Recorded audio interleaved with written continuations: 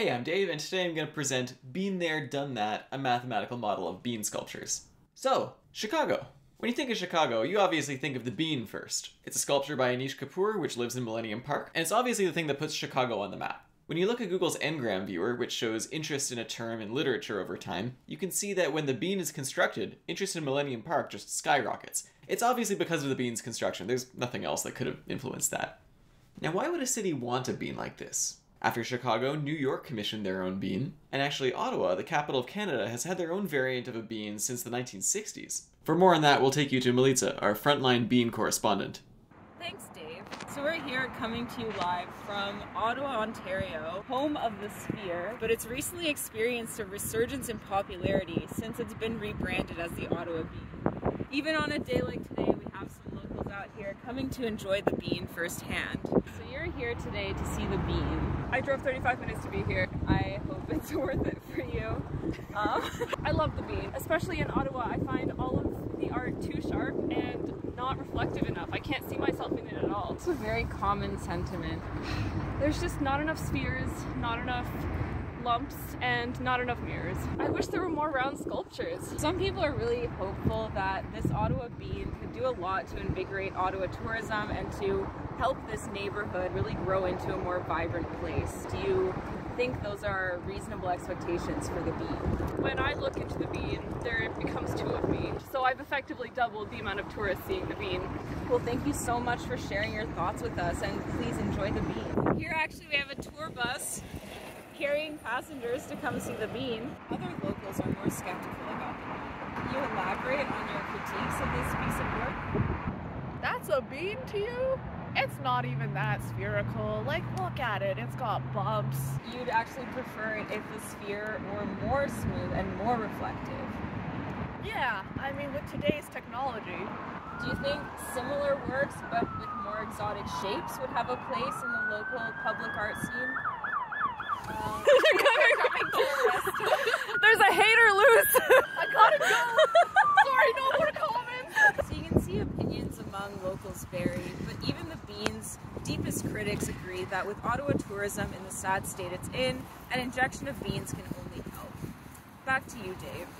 Thanks, Milica. So for another point of comparison, let's look at some numbers. We're going to compare Cloudgate, which is the nerd name for Chicago's bean, with Parliament in Ottawa. So if we look at the number of annual visitors, Parliament gets 3 million annually, and Cloudgate gets 5 million. And if you look at the cost, well, Parliament, just restoration alone in the center block is $4.5 billion, and Cloudgate just took a mere 23 million to construct. So we crunched the numbers for you, and 5 million over 3 million, that's a number bigger than 1. And 23 million over 4.5 billion, that's a number less than one. It is a financially responsible decision to replace Parliament with a bean. So I think it's safe to conclude that the bean sculpture single-handedly put Chicago on the map. So naturally, every city is going to want one because the numbers don't lie. So that brings us to our research questions.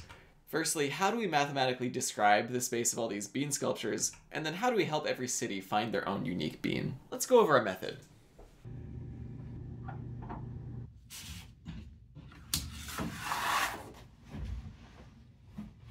So our base beam building block is a Bezier curve. We're using a quadratic Bezier curve, so it's got three control points, one on each end and one in the middle. Normally you can drag this anywhere, but we're constraining it to the middle for maximum beaniness. Using this, we can do Chicago's bean and Ottawa's bean pretty easily. Ottawa's bean is just the trivial bean where all the control points are zero. However, we want to be turning all these other landmarks into beans. We want to give the beans the maximum possible impact. That means putting them in significant places, and the easiest way to do that is just replace something that's already there. Unfortunately, a single curve just won't do for any of these. So our plan is going to be to combine multiple base beans to make one composite bean. But we don't want it to look like it's just a few noodles on top of each other. We still want it to look like it's one cohesive bean. So how do we make it smooth? For that, we're going to use something called signed distance functions. They're math. So what they do is they let you put in any point in space and it gives you the distance to the surface of the shape. Rather than describing the surface directly, it gives you this distance and then you can work out where the surface is. Now it's a signed distance because it's positive when you're outside of the shape and negative when you're inside. Here's a graph of the distance to the center of the canvas, where red means it's a bigger distance. And when we start to subtract a radius from it, we can see it gets blue in the middle because it gets negative. And if you're going to visualize exactly where it's zero, you get this circle. We're looking at the signed distance function for a circle. Now, if we want to get the union of multiple circles, we can just take the minimum distance between either of the two circles. Uh, but if we visualize the zero line, it's a butt. We don't want a butt. We want a bean. So to do that, we're going to use a smooth union. Now, when they get close to each other here, they just like smush into each other. That's a bean. And we're given this parameter k to control how smooth it is. Mmm, delicious.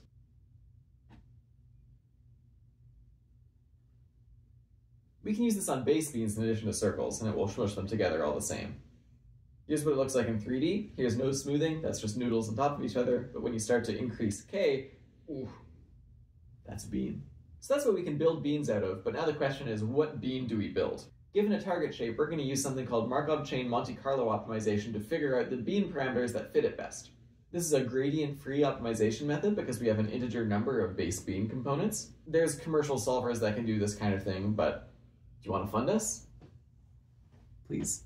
So instead, we're going to use this probabilistic approach. Now the way it works is you create a reference bean with some random starting parameters, and then you mutate them a little bit to make a proposal.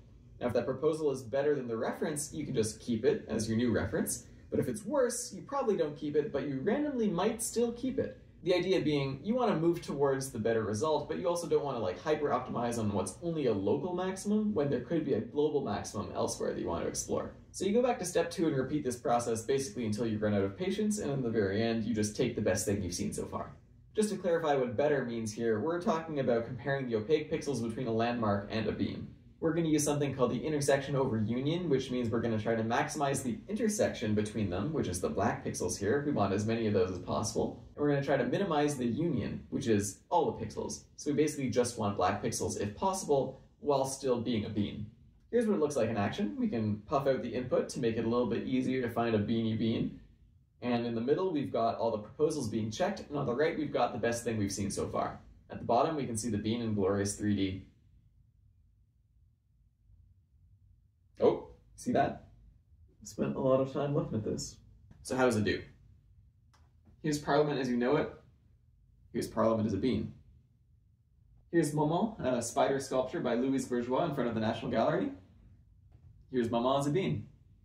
Here's the most iconic thing in Toronto skyline, but I would say that this is better. Here's Michelangelo's David, and here's the bean version, which is somehow more phallic despite the original being a naked man. Here's one that's dusty and in need of an upgrade. Fixed. There's really no limit to what you can do with this technique. Thank you so much for your time.